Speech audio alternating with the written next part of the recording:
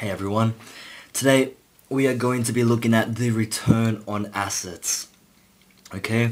And uh, we'll be looking at two specific um, returns, uh, those being the dollar return and the percentage returns. Okay, so we're going to have a look at these types of returns that we receive from an asset. Okay, so let's look at the return on assets. So a return by definition is the gain or loss on an investment. Okay, we make an investment, we buy an asset that we hope for it to, you know, generate some sort of revenue. Our return can be a gain or something can go wrong, like a financial crisis for an example, and there can be a loss as well. Okay, but let's first start by um, looking at what dollar return is. So put simply, let's say we have this closed contour right here and this represents our return okay but this return is made up of two things alright it's made up of something known as capital gains capital gains and also something known as income. So these are the two primary um, constituents of our return. Okay, so what are capital gains? Well, the best way for me to explain what capital gains gains is is probably through houses because houses are something that um, increase in value as time goes on. Let's say you buy a house for five hundred thousand dollars. Okay, you buy a house for five hundred thousand dollars right here. Well, as you should know, as time progresses, more or less the price of these houses will increase, okay?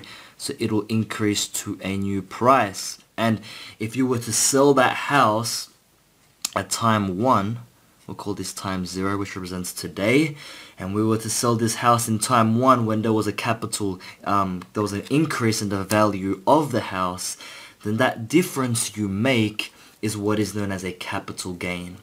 Okay, that's what capital gains is. And income, on the other hand, is um, is a return in the form of dividends. You know, um, money that is generated by the asset. Okay, without you giving the asset away, right? You, you hold something as shares, for example. Shares are a great example. You hold on to shares. And um, every period, every set of periods, you'll get paid a dividend. And that dividend comes under income. Okay, so these are the two subsets of return. We get capital gains and we get income. And what we do is we add these two things together and our um, results will be the return. So let's do an example. The example here says I'm going to buy shares for $10. Okay, it's fair enough. And the share will pay $3 in dividends next year. Shares will be worth $12 in one year. What is your return on this investment? So it's fairly simple, fairly simple. Let's just first start off by writing what our return should be equal to. The formula, our return is equal to capital gains plus income. Okay, so what will the capital gains be? Well, the capital gains will be 12 minus 10. Okay, we buy it for $10, but we're going to sell it for 12, and that difference will represent our capital gains. And the income generated by this asset, which are which are shares, will be um, three dollars. Okay, three dollars. And so our total return on this investment will be two plus 3 and that's equal to 5.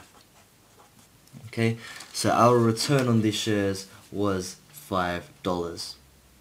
Alright, um, but what will we have in total after we sell these shares? Well, it's pretty obvious that um, if we bought the shares for 10, sell them for 12, sure our return is 5, but we'll actually be getting 12 plus $3.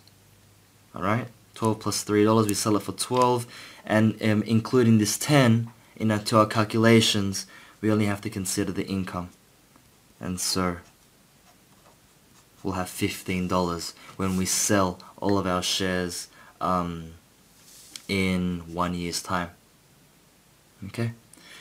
Now, the next thing we want to look at are percentage returns. Alright, percentage returns. Now, why do we look at this specific type of return? Well, this this um, alternative way of viewing uh, this return is it can tell us more information. Okay, it can tell us more information about the investment we are engaging in. Okay, my ret- and furthermore, it will tell you my return or your return for every dollar I have invested. Okay, so that's a very good thing that we can keep in mind. And the percentage return does just this. So if we, if using our figures on the last page, if we want to calculate the percentage return, what we do is we put the um, capital gains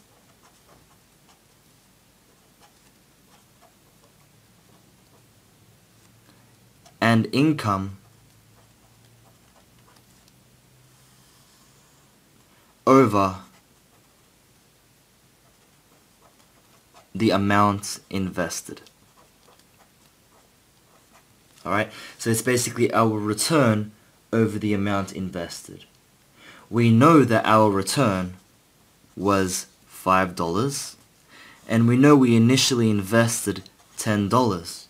Okay, and so our percentage return, so we have to times this by 100 to get our percentage.